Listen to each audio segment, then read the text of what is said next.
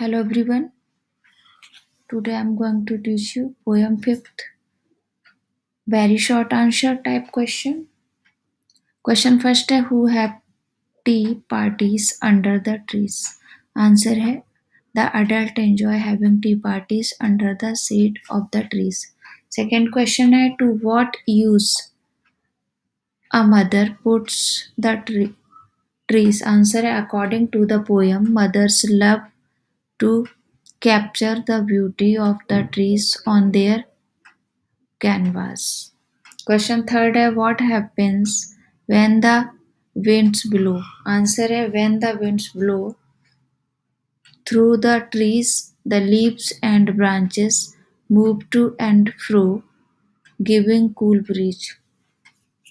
Short answer type question. Why do the fathers find trees useful during the fall, gathering the scattered leaves from the ground, a lot of profit could be repaid. These leaves could use as fuel or turned into manure and fertile fertilizers. The farmers find this profitable as this adds their business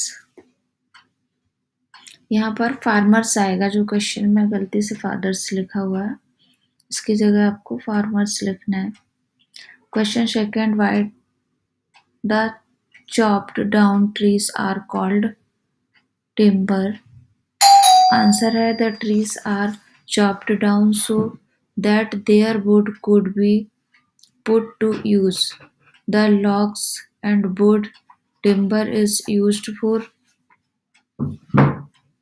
carpentry and to make furniture even when the trees is chopped down it is useful and profitable.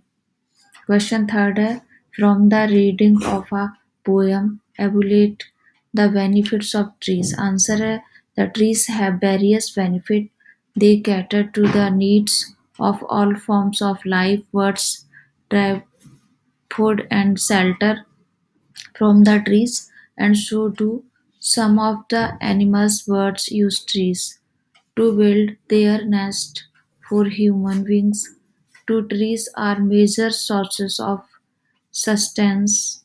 They get fruits as timber medicines and various other such elements from the trees. Children love to play around the trees for those who have leisurely time trees provide relief and also work as subjects that could be painted पेड़ों से हमें बहुत सारे लाभ हैं जैसे medicine fruits लकड़ी मिलती है ऐसे बहुत सारी चीज़ें हैं पेपर रबड़ ई थैंक यू